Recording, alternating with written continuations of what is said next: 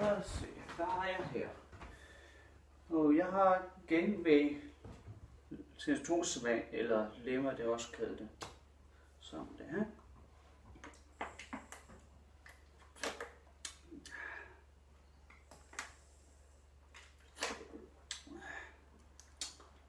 Det smager også godt, som man siger.